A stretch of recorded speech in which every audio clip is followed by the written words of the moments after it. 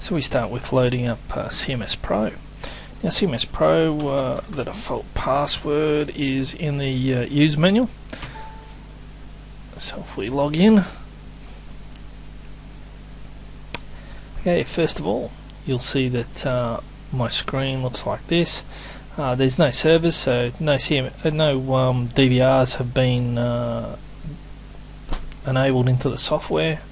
And if I was to have a look at the default view, so when you first turn on CMS Pro, you'd see a screen like this. I've changed mine a little, um, just so that I can make the camera sizes on my screen a little bit bigger. As you can see, it sort of gives it a bit better uh, presentation, a bit bit easier to view as well. So the very first thing we need to do is set up a DVR. To do this, we click on Setup, Local Setup, uh, Device Connection List. If we go down to New, um, look, we can do it manually by putting in all the um, uh, details of the uh, of the DVR. So if we just go DVR, you know, 192.168.1.4, I think is my IP. Now the default um, command port is 5920 and the video stream port is 5921. Again, uh, put in your password which is exactly the same as what's on the DVR, so that needs to uh, line up. Now, if you want pop-up screens to appear on your um, on your CMS, not inside your DVR, but on your CMS screen, you can do that as well. So, event pop-up window is here. We'll do that later on.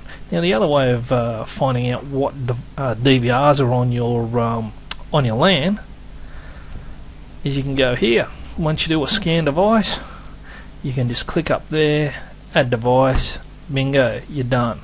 So that'll just change that back. And we're away. Alright, now our DVR is up here. So if we were to close the program down, open it back up, we'd have all of our DVRs listed here. So we first of all need to connect.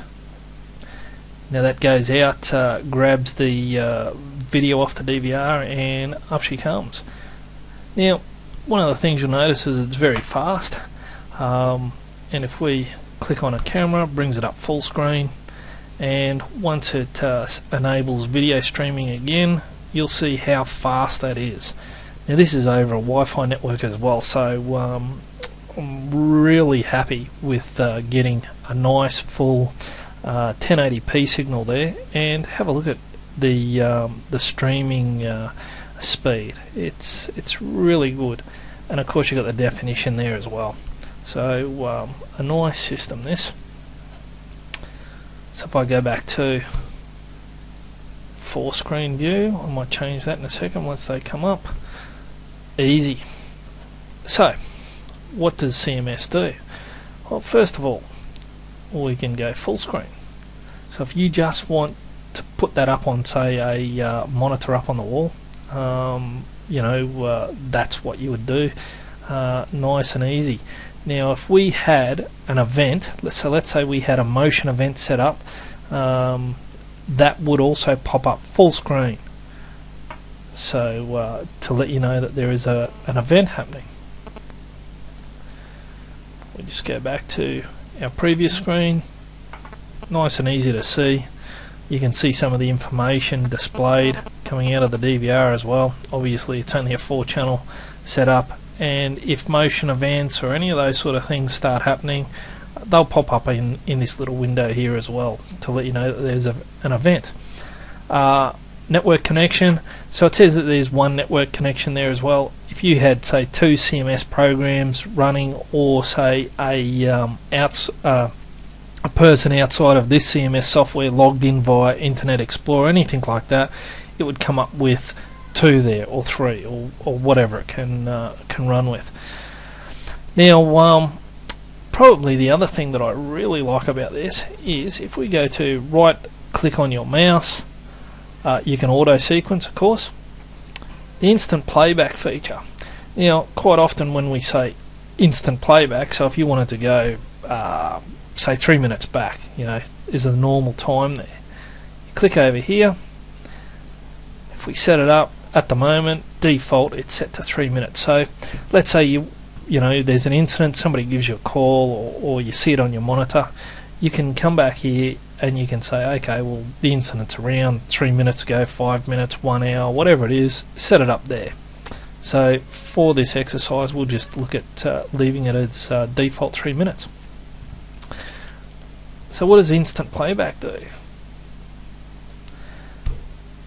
instantly plays back. Now it's that quick. This is across the uh, across the LAN, of course. Um, so if we look at this screen, what uh, information does it give you? As you can see, it's the same size as that. And we saw that car go past then. So if we just pause on that for a moment, and we go back a little while, press play, we hunt down the time that that car goes past, a few seconds time.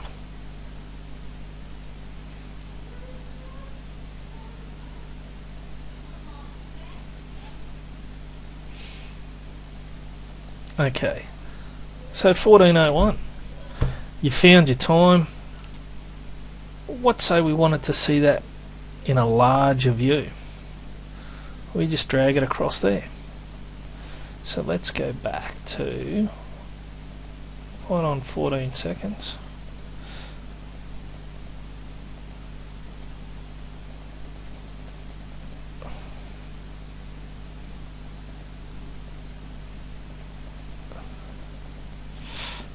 Okay, let's just play that back. We know what's coming up to. Right on 14. And there we go. It's pretty straightforward to nail an incident just in this. But again, what does that give you? So we can go full screen on, which will open it up to whatever you've got those uh, the video windows set to, um, or it'll take it back to where we were previously. So if we were there, full screen on, we'll open it right up, capture image. Because at the end of the day that's what you want to do. So once we've saved it it's automatically saved it.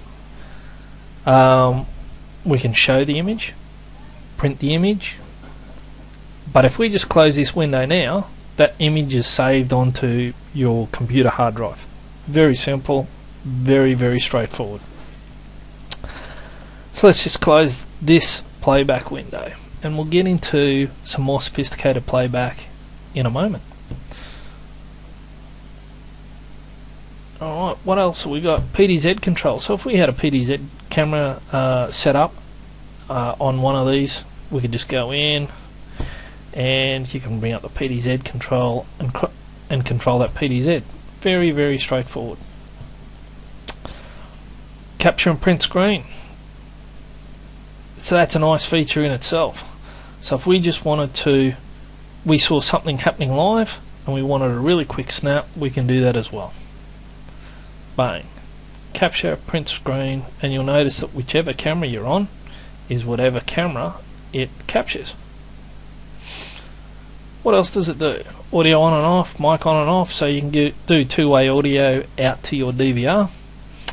Uh, instant recording, so obviously if um, you uh, wanted to send a um, uh, some live recording. So what you're seeing now, you wanted to record that onto your computer. You just press start recording. Very, very, very straightforward. Display options. Okay, so if we just turn that off, you'll notice that the time date, nothing, uh, nothing to write home about. But it's a nice little feature if you uh, need it. Okay, that's pretty much all for live viewing. Just really straightforward. Um, and it gives you all of this sort of messages here. Um, if we update the log, that has all of the events as it happens from the DVR.